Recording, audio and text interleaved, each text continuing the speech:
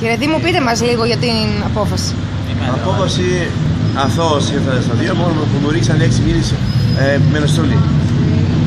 Πώς είναι, υποστήριξε ότι Ότι, ναι, ότι, ναι, ότι ο Σερβικός, πετάξετε κάστανα. ναι, ο Σερβικός είναι ψέματα. Ο Σερβικός είπε ότι πέφτει στα κάστανα, κάστανα, την ώρα που έχω πέσει, πέσαν και τα κάστανα μαζί μαζί με το καρότσι. πριν εννοεί, πριν πες. Πριν, ναι, πριν να πέσουν, πέσαν τα κάστανα μόνο. Με το καρότσι που πήγα να, να σμπρώξει, αυτός πέσαν τα κάστανα μόνο τους. Δεν το πετούσατε δηλαδή Δεν εσείς. πέσουν καθόλου κάστανα. Αυτό είναι ψέμα.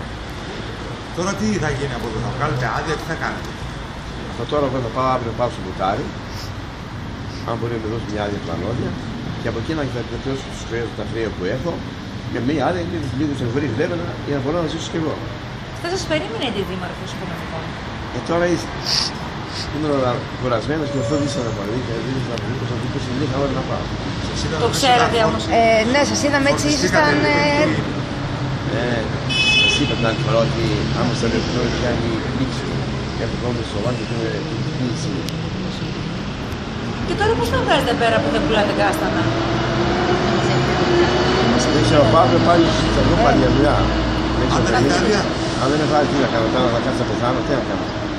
Δεν μπορώ να μην δουλέψω, τι, τι να φάω. Και αν όμως ξαναγράψουμε άλλα 10 χιλιάρικα Και όπως είπατε το ποσό είναι μεγάλο. Και τι να κάνω, ρε παιδιά, να, να, τι να πάω να, να, πάω να κλέψω, να διαλέψω, τι να κάνω. Θέλω να, θέλω να ζήσω κι εγώ. Αλλιώς θα πεταχθώ σαν παγκάκι να κοιμηθώ.